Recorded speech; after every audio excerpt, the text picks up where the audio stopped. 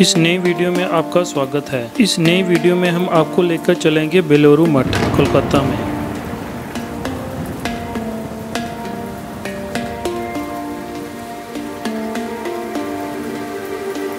बेलोरू मठ जाने का सबसे बेस्ट वे है हावड़ा रेलवे स्टेशन से लोकल ट्रेन डिस्टेंस है सिक्स किलोमीटर, आप बेलोरू मठ पहुँच सकते हैं। अगर आप कोलकाता से आ रहे हैं बेस्ट वे रहेगा आपको मेट्रो आपको दक्षिणेश्वर मेट्रो आना पड़ेगा। आप स्काई वॉक से भी दक्षिणेश्वर मंदिर के गेट तक जा सकते हैं।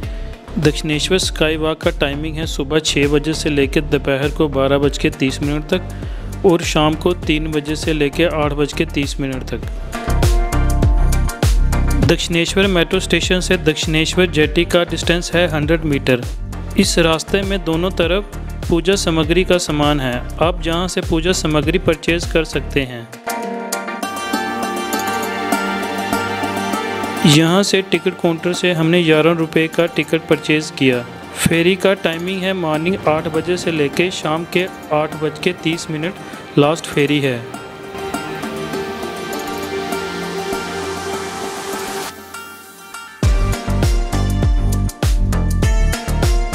बेलरू जाते समय दक्षिणेश्वर टेंपल का खूबसूरत व्यू देख सकते हैं। आज सैटरडे है। दक्षिणेश्वर मंदिर में बहुत ज़्यादा भीड़ है। सैटरडे को माँ काली की पूजा होती है।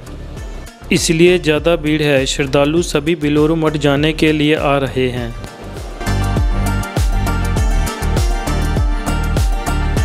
ये है दक्षिणेश्वर ब्रिज। इसका एक और नाम है विवेकानंद सेतु ब्रिज और इसके लेफ़्ट साइड में है निवेदित सेतु ब्रिज। जेटी के अंदर बैठने के लिए अच्छी फैसिलिटी है। लाइफ जैकेट और ट्यूब भी अवेलेबल है। कुछ दूर चलते ही गंगा नदी के राइट साइड में दिखाई देगा। खूबसूरत रामकृष्ण मठ। 20 मिनट लगे बेलोरू मठ फेरी घाट तक पहुँचने के लिए।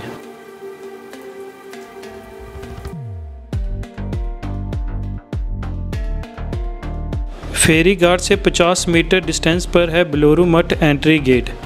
बिलोरू मठ के अंदर फोटोग्राफरी और वीडियोग्राफरी अलो नहीं है। मंदिर के राइट साइड में है फ्री शूज़ काउंटर। यहाँ पे आप शूज़ रख के मंदिर के अंदर जा सकते हैं। ये है बिलोरू मठ, मेन गेट, एंट्री गेट। ये सामने है रामकृष्ण मंदिर। रामकृष्ण मंदिर के अंदर फोटोग्राफरी और वीडियोग्राफरी अलो नहीं है। मंदिर का टाइमिंग है सुबह छः बज के तीस मिनट से लेके ग्यारह बज के तीस मिनट तक और उसके बाद शाम को है तीन बज के तीस मिनट से लेके आठ बज के तीस मिनट तक।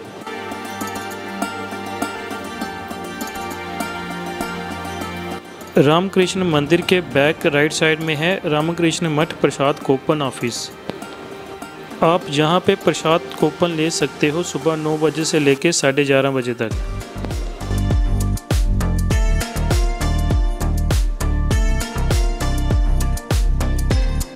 मेन गेट एंट्री के राइट साइड में है स्वामी विवेकानंद जी का मंदिर। विवेकानंद मंदिर के राइट साइड में है बेल का पेड़। कहते हैं स्वामी विवेकानंद जी, इस पेड़ के नीचे हमेशा बैठते थे। स्वामी विवेकानंद मंदिर के लेफ़्ट हैंड साइड में है शारदा मंदिर। ये सामने है प्रसाद हाल। आप देख रहे हैं काफ़ी ज़्यादा लंबी लाइन लगी है। प्रसाद का टाइमिंग है 12 बजे के बाद। आपको पहले ही लाइन में लगना पड़ेगा।